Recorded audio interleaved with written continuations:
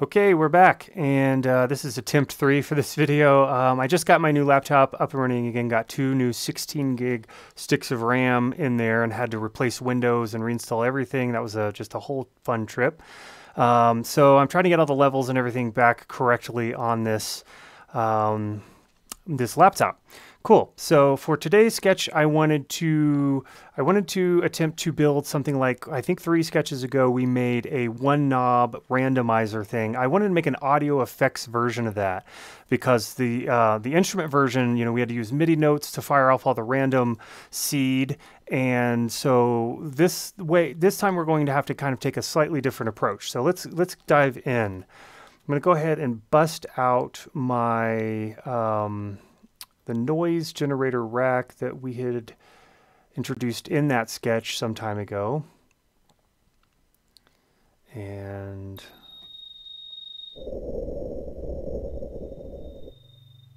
there we go. And so to make an audio version, we're going to need some kind of a noise signal to trigger uh, the, the random seed. If you remember this um, 8x audio randomizer audio effect, it has a noise threshold. And so let's go ahead and just, um, let's go ahead and build this out.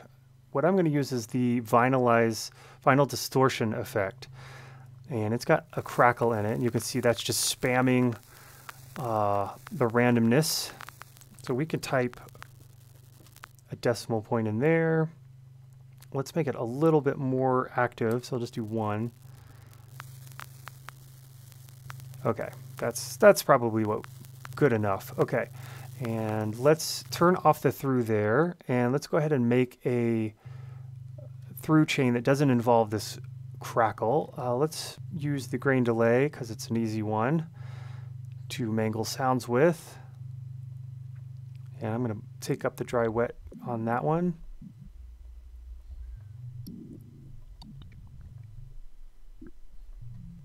All right, so it sounds pretty crazy. Now, what, what I want to do is bring in a wet and dry rack here. I'm going to go ahead and delete this container because this will turn things on and off, and we don't really want that. We want, we want to leave this thing on. And let's, we want to mute the sound in here. So I'm going to mute the vinyl distortion. And I'm going to map this to here. And let's try 0. I think it's maybe 0.01 on the min. 0.01. Yes, you can dial in decimal decimal points in there, and it actually does something. There we go. Also, it's turning on. We want it only on when this hits 0. So let's see, 0.01 and then 0 on the min. There we go. Okay, now let's map this to the parent and now let's see if that does anything. Okay, so when this is down at zero, we can pull this threshold down if we really want it to create a lot of random seeds essentially every time. So this every time this knob is at zero. Okay, cool. And you can see it. Just realized my um, face was probably covering up the grain delay here. So now you can see when it's down at zero, we get some randomness. And I'm realizing now that I'm thinking about it, uh, we're not getting quite, you know, it's it's not super fast or immediate when the randomness happens when this is at zero. So if you needed some really rapid fire stuff, we could we can increase the density here. Um, also, we've got the audio signal coming through this that's affecting it. So uh, if we wanted to prevent that, we could put a utility here and we could uh, just turn on mute there. And I want to go ahead and duplicate this. So we have an empty version of it. And I'm going to go ahead and turn off those, just unmap those. And so this one's just ready for an effect to be added. Um, we'll just call this template for now. And if we want to keep everything kind of neat and tidy, we can move after it's been mapped this grain delay into this chain here.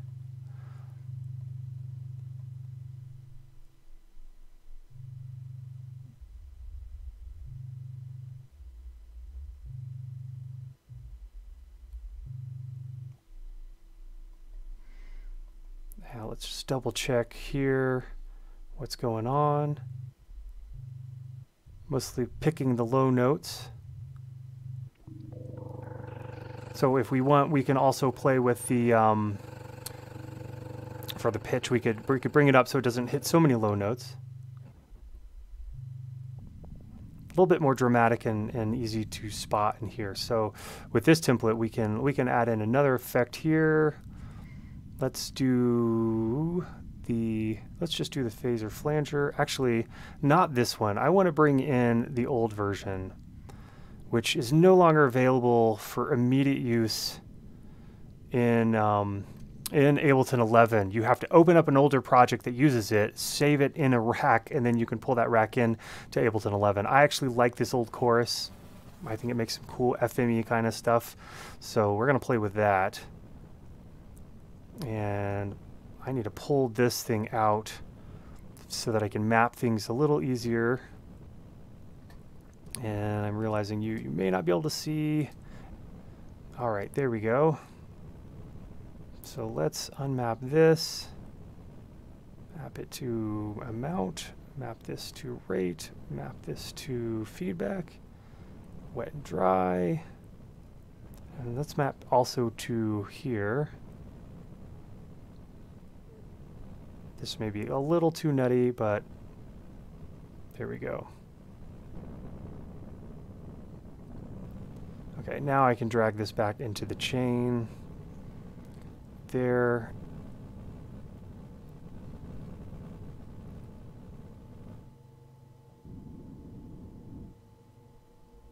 Awesome. Cool. Okay. Uh, one last thing I wanted to play around with. Somebody in the uh, comment section of one of the previous videos was asking if I would play with some feedback loops. And um, I can show how to do that pretty easily. Um, using the gate effect. And if you use the sidechain section and you turn this little blue button, this monitor button on, um, you can pull sound from any of these racks. So you can also pull sound from itself, which is what we want to do. Let's open up a, uh, instantiate another one of these on off uh, dry wet templates that I like to use. And if you're wondering how I'm getting these effects to load in so fast, I use auto hotkey and I've just made some hotkeys, control shift one for me, like that brings in the EQ8 really fast. I know there are Max for Live patches that also let you drop in um, Ableton devices. So, um, you know, those are very useful as well, but I like auto hotkey because I can do all kinds of other fun, fun things with it too. So anyway, we'll, we'll explore that some other time. Um, but for now, let's just have some fun making some feedback. So let's turn this up and I need to, let's bring in a utility because all I want to do is make a, a, group out of it. And I'm going to put this right after the gate. I'm going to, let's move the utility in here. And actually, let's get some noise going um, just so we have something to play with as far as our, um, to, to generate some feedback off of. An easy noise is a, let's see, vinyl distortion and then a vocoder after um, you can increase the attack and release on the vocoder and you just crank up the crackle intensity and you got yourself a bit of an, a white noise kind of. And I'm going to bring in another one of these dry wet templates and I'm going to drop in this noise recipe. There we go. So if we want it quieter, we can we can bring this down a little bit. Now, we need to configure this gate to pick up sound from our blank. We'll just call this blank for now. So let's choose, uh, let's see, yeah, for dual tone, and we're gonna pull sound from, where's blank? I know it's in there, there it is, post effects. So you can hear already we've got some kind of nasty sounding feedback happening. So let's put, uh, the easiest way to manipulate that is with um, filters. And the EQ8 is... Ah, ah, sorry about that. Uh, one thing I forgot, the most important step, get that limiter on there uh, right at the end. So let's go ahead and do that. Limiter put that after blank. Actually, yeah. So I'm going to put this post in here in the effects of blank since we're pulling post effects off of blank. You know, feedback through would be a return or send maybe, probably a better better term for that. Um, so let's, and we get an LFO going on this. Yeah, so that's already sounding really, really strange. Let's go ahead and increase that. And let's see, we could uh, get some other effects in here too.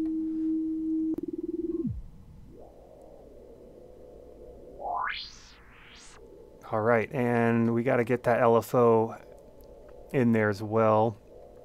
I like a good random, uh, smooth random, so let's smooth that out. Let's uh, map to this frequency. Let me just crank up this Q, because that's, when you crank the Q up, yeah, you're going to get a lot of, a lot of feedback stuff happening.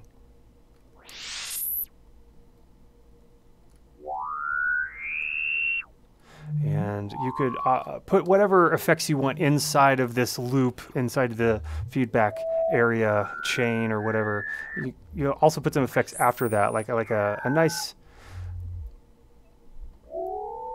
nice delay after that. And I know my face is covering some of this up, so I'll go ahead and like close that down there.